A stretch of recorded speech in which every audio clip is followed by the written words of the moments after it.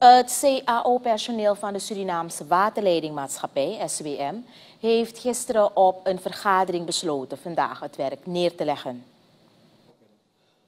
Bondsvoorzitter Dwayne Cairo zegt in gesprek met onze redactie dat de acties volgen na een ingelaste persstilte na hun acties een paar weken geleden. Bond en directie hebben intussen nog steeds geen nieuwe collectieve arbeidsovereenkomst over het jaar 2021 kunnen ondertekenen. We zijn begin september begonnen, waarbij we hebben gevraagd naar een toelage over de periode dat we geen CAO kunnen tekenen. Ja?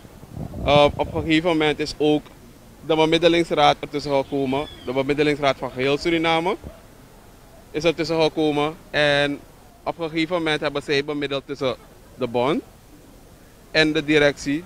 Toch? Er was op een gegeven moment hadden we ook twee besturen. Ook daar, ook daar heeft de bemiddelingsraad uh, mee aangewerkt. Ja, toch? En op een gegeven moment heeft de bemiddelingsraad gezegd, ik kom uit met een oordeel. En in het oordeel hebben ze een bedrag opgenoemd waarbij ze hebben gezegd, dit bedrag vind ik als bemiddelingsraad dat de SWM moet uitbetalen aan de medewerkers.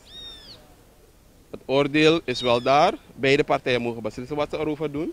Wij als bestuur, als leden, hebben ons terug kunnen vinden. En we hebben besloten om akkoord te gaan met het oordeel van de raad. Op dit moment hebben we nog geen bericht gekregen van de directeur. Als hij akkoord gaat en als de betalingen uit, uit zullen gaan medio oktober. Het gaat in deze om een overbruggingstoelage van 3000 SRD. De stakende SWM-arbeiders zijn eerder vanochtend gelopen vanuit het Onafhankelijkheidsplein naar het hoofdkantoor van SWM aan de Henk Aronstraat. Ze poogden daar directeur Oosterling te spreken, maar dat is niet gelukt.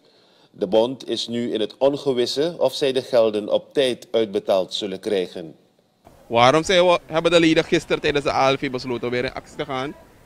Omdat er is nog geen overeenkomst. Het moet betaald worden, maar de, de bond en de directeur moeten overeenkomen dat dat betaald wordt. En dat is er nog niet. Dus dat, vandaag zijn we hier, we waren in het C47 gebouw, we zijn hier en we gaan nu naar de directeur. En op basis van het, wat de directeur zegt, gaan we vermoedelijk naar de president. Bond en directie zijn nog steeds op één lijn wat de CAO 2021 betreft. Ook daarin heeft de bemiddelingsraad een uitspraak gedaan. Toch? Dus het is een compleet pakket dat ze hebben aangeboden in het oordeel. Toch? Dus um, de directeur geeft aan hij kan pas, of hij wil pas, starten met de cao's wanneer hij tariefverhoging heeft. Dat is mooi, het is zijn deel, maar in de tussentijd hebben de leden het moeilijk. Cairo kon niet aan onze redactie vertellen of de levering van water gegarandeerd is. Wel gaf hij aan dat ook de productiemedewerkers het werk hebben neergelegd. De verkiezingen om te komen tot een nieuw bestuur van de bond bij de SWM zijn gepland voor vrijdag 22 oktober aanstaande.